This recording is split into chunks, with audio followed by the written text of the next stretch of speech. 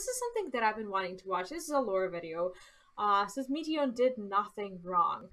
Um, I'm gonna be honest. This is something that I'm a little bit biased towards because uh, Meteion, even though she's kind of like, um, should we call her a tragic character or not? Like, she's not tragic, but at the same time, she was, um, she, in the position of power she was in, and she did have power. I think her her emotions and and just her overall existence wasn't handled properly because because I don't know, I think I think Hermes just underappreciated his role as a guardian in uh in a way and I just kind of wanted to uh to take a look at the video and see what what they have to say about this.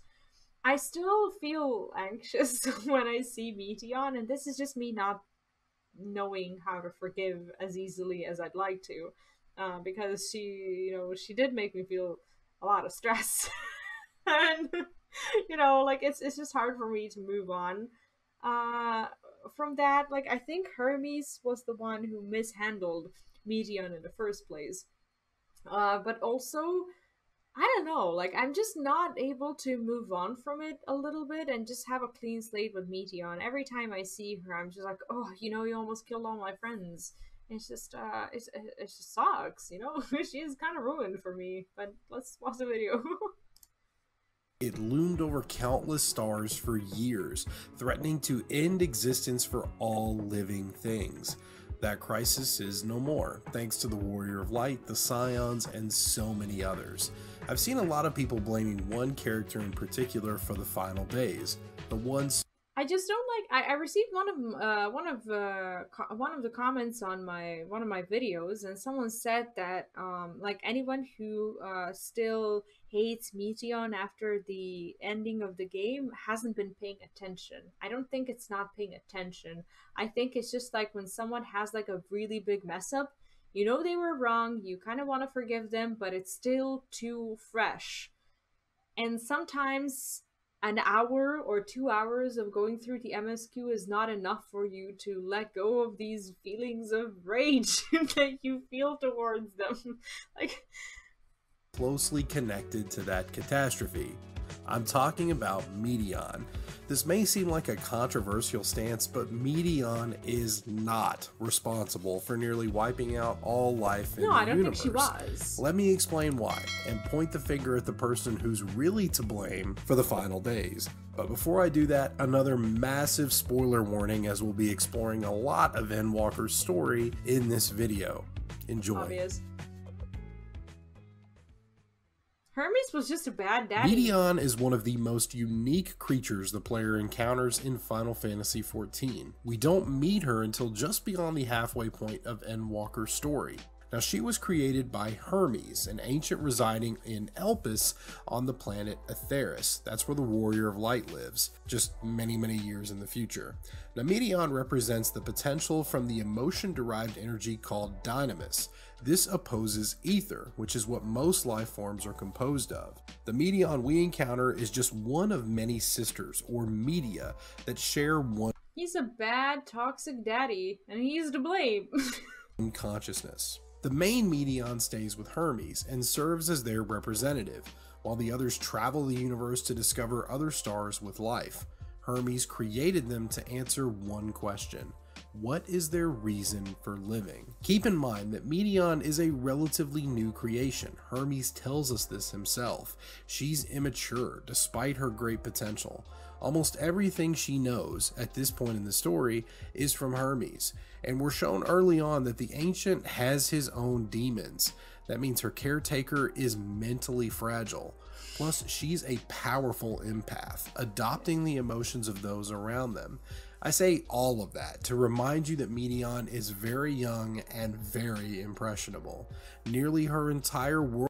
She's like a toddler who's been given too much power and responsibility. Like you wouldn't hand all this power to a toddler and be like, "Hey, if you get mad, you can uh you can destroy the world and we'll be okay with that." Like no one would ever do that.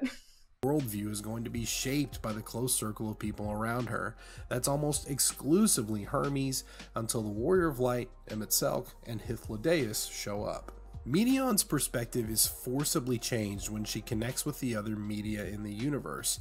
They only found dead worlds or ones on the verge of collapse. This is what happens when uh when a child, a very young child discovers death. And I think I talked about this before in my uh while while I was doing my MSQ.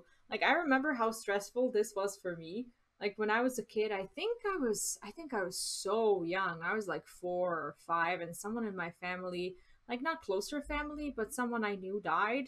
And I was like, "What's death?"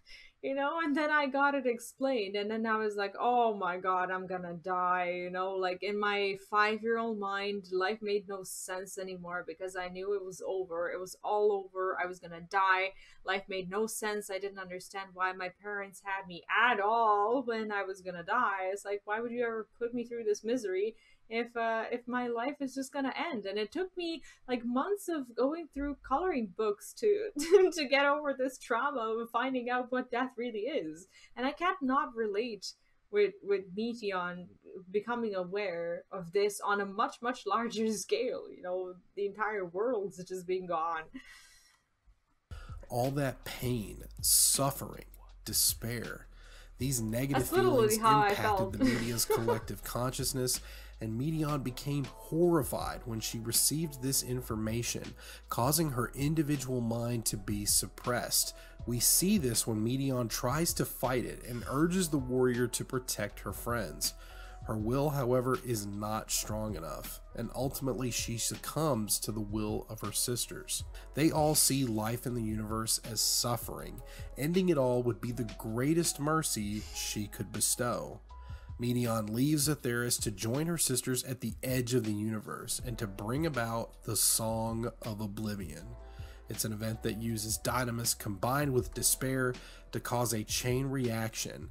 Extinction would follow. Now, let's fast forward a bit. We know this event was staved off by the Convocation of 14 summoning of the Dark Primal Zodiark, Eventually, Hydaelyn imprisons Zodiark on the moon, keeping the dangerous primal at bay, but edits. also keeping Etheirys safe. Zenos and Fandaniel break that seal in the present day. Zodiark is weakened by the warrior, Fandaniel destroys the primal's heart, and the Song of Oblivion returns. The Scions chase Meteion to the edge of the universe, with the warrior arriving at the Media Nest. Meteion keeps insisting that life isn't worth living and wants to relieve the warrior of his burden. But we're not about to back down. Emet-Selch and Hythlodaeus summon an Elpis flower field to the nest, something Meteion shares a deep connection with. It reminds her of her friends, especially Hermes, and restores her individuality. The Meteion we met is free. We know this because she begs the warrior to stop the Song of Oblivion. She knows life is about celebrating the good and pushing through the bad. Meteion sees that in you, the warrior's will, optimism, and resolve. She's determined to help stop. Just watching these cutscenes again just makes me want to replay the, the Endwalker story. her sisters and guides the warrior to them as they converge into one being, the End Singer. The End Singer attacks, so the warrior sends the Scions away to safety. That's because the warrior is willing to face the End Singer alone. But Zenos isn't going to be sidelined anymore. The combined efforts of so many people destroy the End Singer and end the Song of Oblivion forever. Meteion survives. Although she broke free of the despair that swallowed up her sisters, she still mourned on everything that's happened. Like in my eyes, Meteion here is still a toddler, but a toddler who messed up like real bad. A toddler who, I don't know, who accidentally turned the stove on and almost set the whole house on fire. You don't just go and and act like everything's fine. Like she would be grounded into oblivion. that includes the answers to Hermes' question What makes life worth living? The warrior invites Meteion to connect one more time, sharing their feelings of love, friendship, and happiness, even in the darkest moments. Meteion realizes, in spite of Hermes' mission, the answer to his question was on Etheirys all along. She's got hope for the future now, and leaves to explore the world she longed to understand. With all of this in perspective, Meteion is more of a victim than a villain. Her impressionable mind was heavily influenced. She's just a victim of her immaturity and the responsibility that she's been tasked with. That that that's all she is. She's not a villain, but she's she's also not innocent. But the reason she's not innocent is not is not her fault. By the despair that her sisters witnessed. All of that was just too much for them to handle, let alone just one. That impossible mission is what put Meteion on the path to the final days. And there's really only one person we can blame for that Hermes. This man yeah. chooses one of the worst ways to cope with his depression by projecting nearly all of his negativity onto Meteion. And remember her empathic abilities? She was doomed from the very beginning.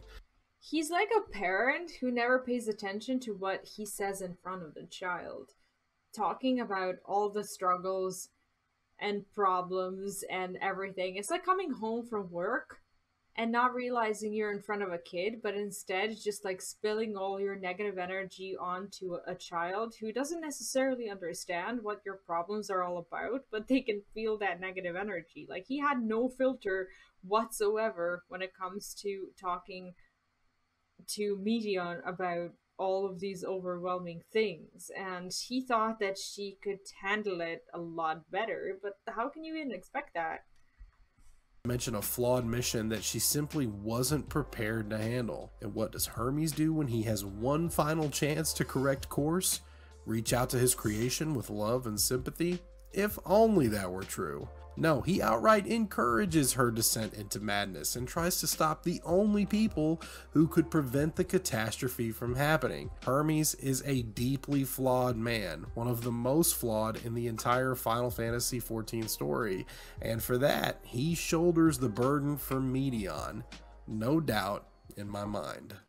So what do you think? Is Meteion a victim of circumstance or did she make the mistakes leading up to the final days? I feel like this is going to be a controversial take. Oh no, her her actions were mistakes, but they weren't purposeful mistakes. They weren't mistakes that you can go and blame her for. She does and would need to go through the process of understanding what she's done and you know facing the consequences not as a punishment but like just coming to terms that with the fact that some of the things uh, that she's done are wrong and just kind of accepting that she is powerful and committing to herself not really um not really doing these things ever again and understanding that her power can do this, but like making a conscious choice to just kind of, you know, try to grow up a little bit and, and be better. on this issue, and I'd love to hear your thoughts in the comments below. I'd also appreciate a like if you enjoyed this video, and I'm always taking suggestions for future entries. Until the next one, take care, warriors, and I'll see you soon. Was a good video. It was insightful, and uh, I I don't disagree with this. I uh, I don't have a clean slate with Meteion, but that's just my personal emotions getting in the way, and I just need to um, I I just need to work a little bit harder on uh, you know, on accepting the fact that this is all over now, and that you know she is in fact. Well, I know that she's not our enemy. It's just I'm just having a hard time seeing her the same way, and I guess a lot of other people feel the same way as well. Like you can't, I don't know. Like so, sometimes, sometimes it's it's just hard to to to get over um to get over these.